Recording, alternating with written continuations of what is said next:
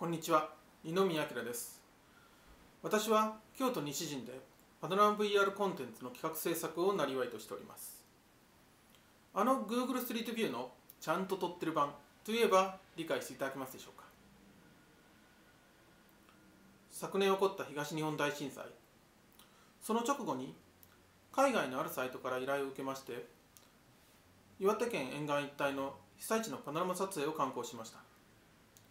ジャパンパノジャーナリズムというサイトに120余りのパノラマ VR コンテンツをアップしております。まだご覧になっていない方ぜひ訪れてみてください。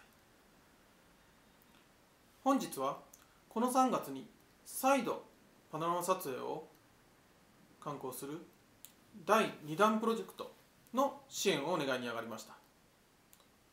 どのような活動かご紹介したいと思います。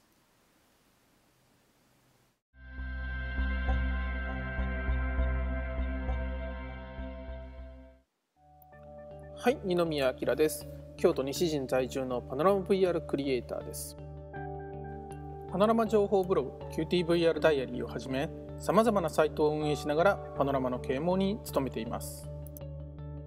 日本のみならず世界でも有数の情報量を持っていますからビジネスにおいても質量ともに日本屈指の実績は誇れるところです。また国際団体との協業などで世界的にも知名度があると思っています。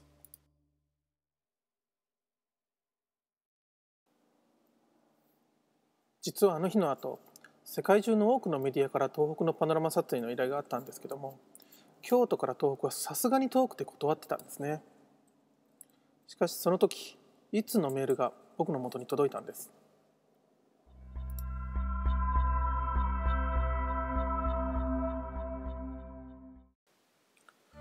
送り主の名前はジェフリー・マーチン。プラハ在住の世界的なパノラマフォトグラファーです。しかし彼は世界ナンバーワンパノラマポータルサイトの創設者でもあります。そのサイトの名前は 360Cities Google Earth のレイヤーにもなってるんですよ。3月14日に最初のメールが届き翌日に返事を書いて協業体制を決め翌々日にはスカイプチャットで延々とミーティングをしてました。何かしなくちゃっていう思いがプロジェクトを立ち上げたんです。ジャパンパノジャーナリズム。世界中の名だたるパノラマ関連メーカーからのスポンサードを受けスタートしました。震災直後3月22日から28日までの1週間岩手に滞在しそのうちの5日間沿岸一帯の被災地を訪れて多くのパノラマ VR コンテンツを撮影してきました。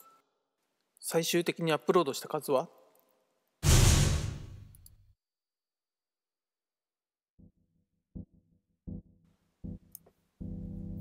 これらはサイトにアップしたパノラマのいくつかです。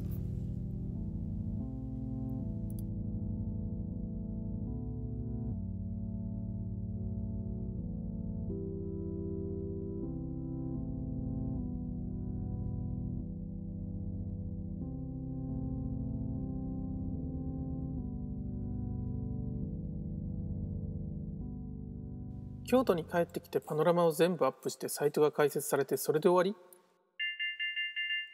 というわけにはいきません。パノラマの語り部としてさまざまな機会を作って登壇しました。2011年4月中はずっとこの活動をしていました。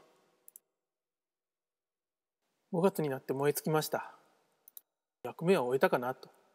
でも半年経って何かが足りないことに気づきました。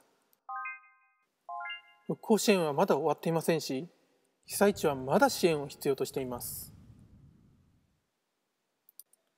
そして決めたんです。新たなプロジェクトを企画します。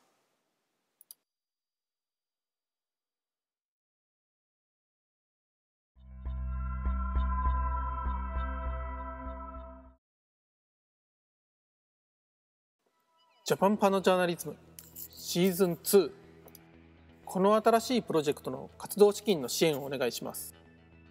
このプロジェクトでは1年後の撮影を行うことで被災地の何が変わって何が変わっていないかを人々に客観的に語ることができるパノラマアーカイブを作成します。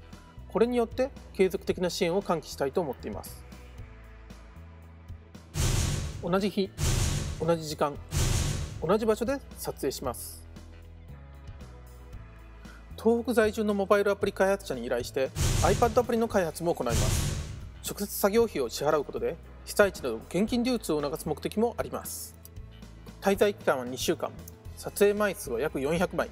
アプリ開発期間は2ヶ月。リリース予定は5月末。経費は撮影と開発のみ。余った寄付金は全て赤十字に寄付されます。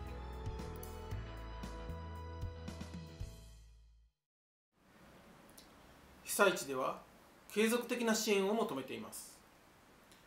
皆様のご協力を心から期待しております。